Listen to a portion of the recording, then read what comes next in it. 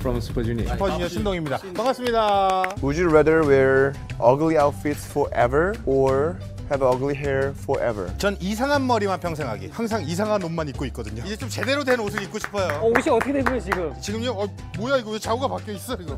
저는 이상한 머리만 계속 하기. 어, 지금처럼요? 네. 옷을 조금 더 잘 입고 싶다는 생각이 또. 아, 맞아요. 팀에 또 패셔니스타들이 좀 있으니까 입어보고 싶은 스타일 있어요? hip한 스타일을 한번 도전해. 아, 힙? 제가 그런 걸 너무 안 어울려서 힙합, Beyoncé 스타일. 그 Beyoncé 스타일로 입는다고요? 수영복? 야, 은혁아 근데 꼭 그렇게 이렇게 하고 있어야 되는 거야? 미국 토크쇼 보면 약간 free하게 앉아있더라고 원래 보통 막 이런 데도 앉아있고 막 이렇게 좋다 좋다.